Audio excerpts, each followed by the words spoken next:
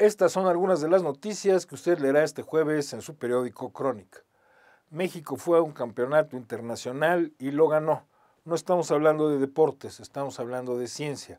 En el Campeonato Europeo de Robótica, que es uno de los más prestigiados del mundo, la delegación mexicana se llevó el primer lugar con nueve medallas, seis de ellas de oro, y en particular destacaron haciendo robots los estudiantes del Politécnico es un ejemplo de cómo la universidad pública sí es de calidad en nuestro país.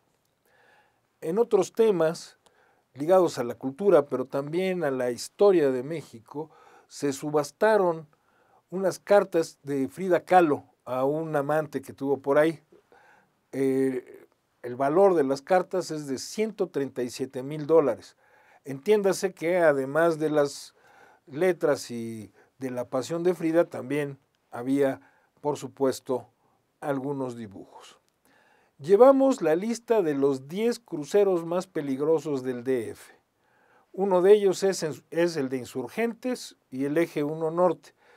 Usted cheque en el periódico y verá cuáles son los otros nueve para que tenga especial cuidado al pasar por ahí. De esto y de mucho más puede usted enterarse leyendo Crónica. Y estos fueron los editores.